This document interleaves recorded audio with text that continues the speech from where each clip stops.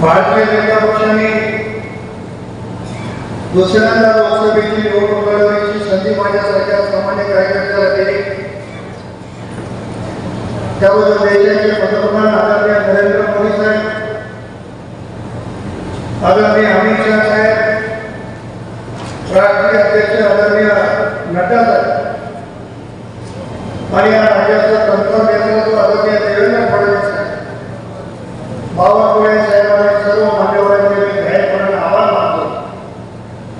की लोकसभा मतदारसंघामध्ये या ठिकाणी निवडणूक लढवण्याची संधी आपण बऱ्याच काळापासून म्हटलं ते फार अधिक बोलणार नाही. आपल्या सर्वांना चव्हाण साहेबांचं मार्गदर्शन ऐकायला मला जाणीव आहे अगोदरच्या वक्त्याने अतिशय सविस्तर असं मार्गदर्शन या ठिकाणी केले.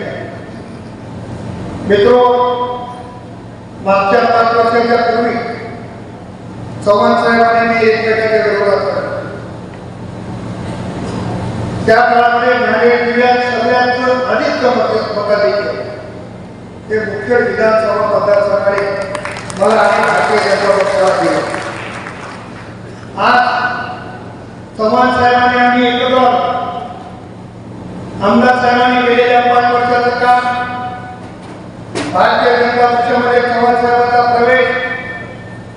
याचं जर गणित केलं तर मला वाटतं की नांदेड जिल्ह्यात सर्वात जास्त मताधिक्य इतर विधानसभा मतदारसंघात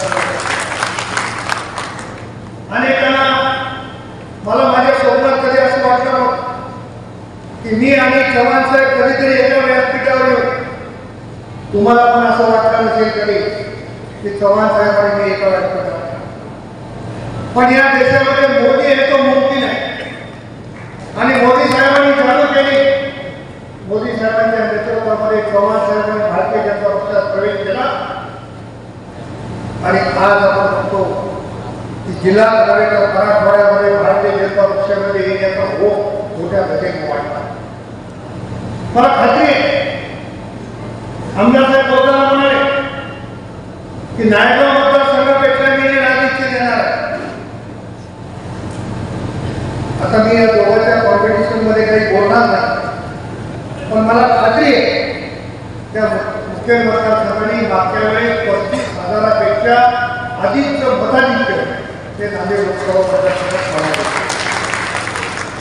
आता चव्हाण साहेबांनी एक दिवस बाजू आमदार साहेबांनी केलेल्या पाच वर्षाचे दिवस बाजू आणि तुम्ही मेहनत केल्याच्यानंतर होणारे दिवस बाजू त्याचं उत्तर येणाऱ्या मतदानाच्या किंवा मतमोजणीच्या दिवशी कळायचं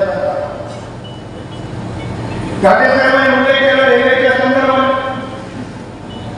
मी तुम्हाला अतिशय नम्रपणे सांगणार की गेल्या अनेक वर्षापासून जी मागणी होती नांदेड नायगाव देवूर बिदर येथे भारतीय जनता पक्षाचा खासदार म्हणून आपण माझ्यावर विश्वास व्यक्त केला. पहिल्या पाच वर्षाच्या टर्ममध्ये दोन हजार पाचशे बावन्न कोटी रुपये त्या रेल्वे आपण मंजूर केले. आणि महाराष्ट्र सरकारचा साडेसातशे कोटी रुपयाचा वाटा देखील आपण मिळवून देण्यात आमदार साहेबांनी अनेक वेळेस भेटलो अनेक वेळेस बोललो. सगळ्यात महत्त्वाचा प्रश्न आहे जेवढ्याचा की बोधन मुखेड लातूर आणि नांदेड लोहा लातूर मार्ग आपण बघितलं असेल की मागच्या अधिवेशनामध्ये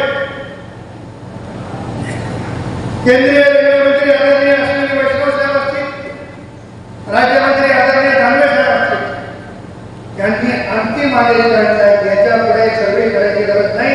त्याचा अंतिम द्वितीय सादर करण्याच्या सूचना ते रेल्वे विभागाला दिलेल्या आहे की येणाऱ्या काळामध्ये बोधन मुख्य लातूरचा रेल्वे मार्ग केल्याशिवाय विश्वास बसणार नाही. या ठिकाणी मोकळे होणार.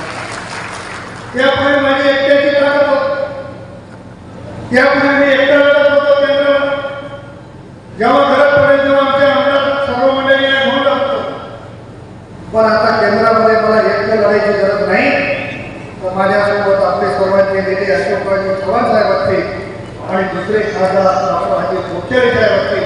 आम्ही सगळेजण मिळून निश्चितपणानं नांदेड जिल्ह्याच्या विकासासाठी लढणार आहोत. त्याच्यामध्ये शंका पडलेली गरज नाही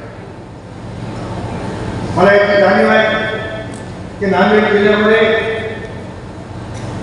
मोठ्या प्रमाणावर बेरोजगारी. पण आता आपण बघितलं नॅशनल हायवेच्या